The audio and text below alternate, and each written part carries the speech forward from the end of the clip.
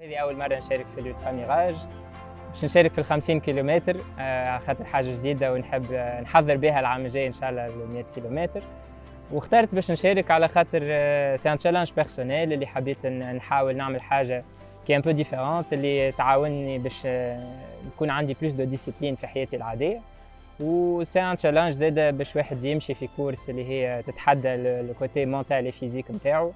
ويشوف اللي آه، برشا عباد بحذاه يعملوا في نفس ال challenge هذايا ويوريو اللي ديما le mental ينجم يوصلك لحاجات ما تخيلش روحك تنجم تعملها.